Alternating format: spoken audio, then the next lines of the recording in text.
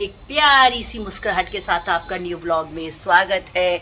और गाइस आज किचन का व्लॉग है, क्योंकि चिमनी ना बहुत गंदी हो रही है। तो मैं सोच रही हूँ उसको काफ़ी दिनों से सोच रही थी कि साफ़ कर लूँ, साफ़ कर लूँ। तो आज मैं उसे क्लीन करूँगी। देखो, मेहनत का तो काम है। सब ये सोचते हैं कि यूट्यूब पे करती क्या है वीडियो बनाती रहती है वीडियो डालती रहती है। अरे दो दो चैनल है, दोनों चैनल को मेनटेन करना। और दोनों भाई मोनोटाइज भी हो चुके हैं। तो मेहनत तो लगती है यदि कोई कुछ करते हैं तो और अब देखो गाइज़ ये मेरी चिमनी कैसी हो रही है। अब मैं केवल आपको बैक कैमरा ही दिखाऊँगी और जो कोई न्यू आ रहे ना चैनल पे तो चैनल को लाइक करिए सब्सक्राइब करिए शेयर करिए अब देखो मैं आपको दिखाती हूँ कैसे करती हूँ मैं। देखना गाइज़ ये रे, इस पे ऑयल लग गया है बहुत सारा तो इसको मैं ऐसे एक खोलूँगी इसको भी खोलते देखो, ऐसे करके ये खुल जाता है। और इस करके, जैसे ये हो गया ना, इसको मैं सिंक में डाल दूँगी। और सिंक में ये, सिंक में ये मैंने इसे कैप लगा दी तो इसमें गर्म पानी डालूँगी और फिर डालूँगी। देखो कितना ऑयल लग रहा है। ऐसे ही दूसरा निकाल लेती हूँ। और जो कैटल में पानी गर्म करने के लिए रख देती हूँ, तेज गर्म पानी होना चाहिए। देखो। ये कैटल में पानी गर्म करने के लिए रख दिया है। ऐसे दो तीन कैटल डालूँगी प्रिल डालूँगी और इसको फिर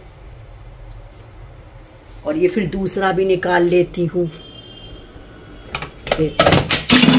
गाइस गिर गया। अब एक हाथ में कैमरा पकड़ा है और दूसरे में तो फिर तो गिरेगा ही ना। चलो, कोई बात नहीं ना। देखिए, अब इसमें मैं गर्म पानी डालूँगी और इसमें फिर प्रिल भी डालूँगी, आपको दिखाऊँगी। पानी उबल गया है, अब इसे हम लेके चलेंगे पानी को और ऐसे करके इसको ऊपर ऊपर से ऐसे डालेंगे। देखो, अब इसे ही छुपने लगा जो हम तेज पानी ऐसे डालते हैं, देखो। इस तरीके से। और पानी निकलेगा भी नहीं। गाइस पानी निकलेगा फिर और ऊपर से भर लेती हूँ मैं। गाइस देखिए, इस तरह से इतना पानी मैंने तीन वो डाल दिए हैं। तीन कैटल डाली है, बहुत तेज गर्म। और देखो, ये छुटने भी लगा है इस तरीके से। और गाइस मैंने ऐसे छोटे छोटे पीस है ना, कपड़े के निकाल लिए ऐसे काट काट के, देखो, ऐसे करके ना, ऐसे। और इस तरह जो कॉटन का जो कपड़ा होता है ना, ऐसे। इस तरह के रख लिए, और इसमें मैंने, देखो, गर्म पानी है, और इसमें मैंने प्रिल डाल लिया है। तो जो ऊपर से ना इसको ऐसे भिगो भिगो के देखो, ऐसे भिगोएँगे इसको और फिर ऐसे ना जैसे कि ये बिल्कुल साफ़ हो जाता है, बिल्कुल साफ़। देखो, मैं आपको ऐसे करके भी दिखाऊँगी क्योंकि ये मिरर है ग्लास का है ये। ये ग्लास का है गाइस देखो। और मैं इसको पूछूँगी ना, देखना। अभी आपके सामने ही करके दिखाई, देखो। हुआ ना साफ़? देखिए। चमक गया ना इसमें। मैं भी दिखाई, देखो, ऐसे करके साफ़ करती हूँ उसको। और जो मतलब साफ़ कपड़ा भी रखो साथ में, और एक सूखा, जो कपड़े तो बचे होते कॉटन के उन्हें रख लेने चाहिए संभाल के। ऐसे करके, बहुत मतलब ज़्यादा लगेगा आधा पौना घंटा, इसको भी करेंगे, ऐसे करके चारों तरफ़ से। और जैसे जो ये शीशे हैं ना जैसे, अभी आपको दिखाती हूँ, देखो, इस तरीके से। ऐसे। गर्म पानी लेके ना, गर्म पानी में और प्रिल डाल दिया ऐसे, इस तरीके से।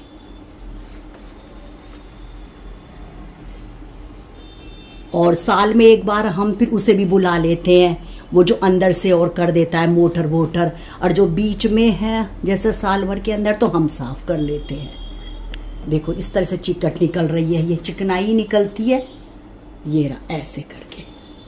फिर अब एक बार और लगा देते, बाद में सूखे कपड़े से कर देंगे। और ऐसी ही यहाँ, ऐसे भी। इस तरीके से। और इधर भी। हम्म और जैसे जो अंदर है ना, मैंने ना स्टैंड में रखा हुआ है गाइस कैमरा। आपको दिखाने के लिए। अंदर इतना नहीं होता साफ़ करने। बस जो ये किनारी है ना, ऐसे। बस ये करनी पड़ती है। या वो जो मैंने आपको दिखाया है स्टील का जो पानी में गर्म पानी में है, वो उसके जो फिल्टर्स हैं या उसकी जो जाली है, वो साफ़ करनी पड़ती है। उसमें ज़्यादा मेहनत लगती है। इसको तो इतना नहीं है जैसे भी आप गर्म पानी से और कपड़े से, ऐसे प्रिल से साफ़ कर दो तो जल्दी हो जाता है। देखो गाइस ये तो ऊपर से तो मैंने साफ़ कर लिया सारी और ऐसी ही ये साफ़ हो गई है। इसके शीशे वीशे भी चमक गए हैं लाइट भी हो गई है और अब करूँगी मैं वो। मैं ये जाली। और ये जाली जैसे गर्म पानी तो इसको ऐसे ऐसे करके स्टील का जूना ले लो या ब्रश ले लो। ब्रश भी रखा हुआ है मैंने मेरा बच्चों ने तो ब्रश ही गायब कर दिया गाइस अब एक ब्रश और लेके आती हूँ मैं। और गाय जो ब्रश हो गया है, सोच रहे हैं कि उसका बिल किस पे फाड़ा जाए। क्योंकि देखो, ऐसे अब मैं और ब्रश लेके आई हूँ।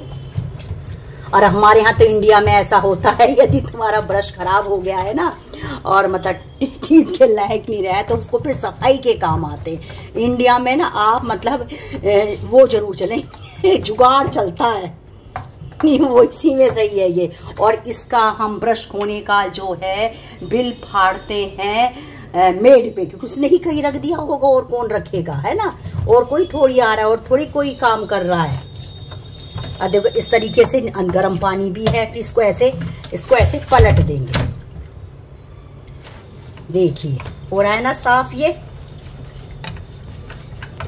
देखो, ऐसे करके, देखो।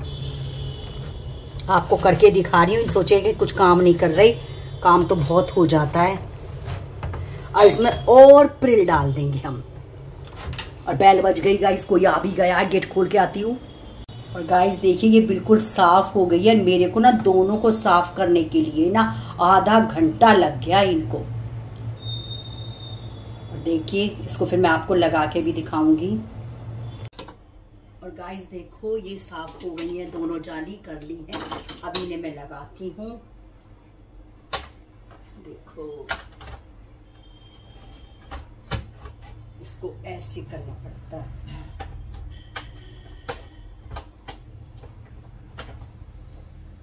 देखो वो लग गई ना बिल्कुल सही लगी है देखिए, अब दूसरी भी लगाने की कोशिश करती हूँ। इसको ऐसे बस कर देते हैं। तो ये लॉक लग जाता है। अब देखो, बिल्कुल साफ़ हो गई ना ये पर देखो, मेहनत तो बहुत लगी है। मुझे इसमें पौन घंटा हो गया गाइस देखो, हल्का सा पानी भी टपक रहा है। अब ये सूख जाएगा सर चलाऊँगी नहीं मैं। अभी आज सुबह को चलाऊँगी, अपना आप सूख जाएगा। देखो, इसको कितनी साफ़ लग रही है ये।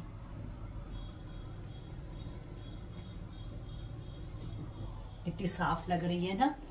देखो। और गाइस पे गैस वैस भी गंदी होगी, ये भी साफ़ किया है और ये भी साफ़ किया है, सारा साफ़ करा है, जब इतना समय लग गया है मतलब डेढ़ दो डेढ़ तो नहीं, एक घंटा तो लग ही गया। और मुझे लग रहा है कि एक दिन मुझे मंदिर भी साफ़ करना है। तो मंदिर भी मैं ऐसे ही फिर से साफ़ करूँगी। लेकिन वो इतना नहीं है क्योंकि कोरी, कोरियन में है। और देखो, उसका ब्लॉग बनाती हूँ, नहीं बनाती हूँ, वो तो पता नहीं। पर आपको मैं ऐसे प्यारे प्यारे ब्लॉग लाती रहूँगी। मेरे चैनल को लाइक करें सब्सक्राइब करें और शेयर करें। राधे राधे जय श्री कृष्णा।